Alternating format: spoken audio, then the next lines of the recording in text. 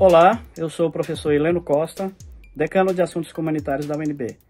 Venho lhes dar as boas-vindas ao nosso retorno presencial, é, paulatino e seguro. Minha orientação inicial básica é vacine-se, use máscara, higienize as mãos, lavagem ou uso de álcool gel e mantenha distanciamento seguro sempre. Aproveito para lhes apresentar a Coordenação de Atenção e Vigilância em Saúde, COAVES, da Diretoria de Atenção à Saúde à Comunidade Universitária, da Azul. Essa coordenação tem a missão de monitorar, orientar e encaminhar os casos de contaminação de Covid em nossa comunidade.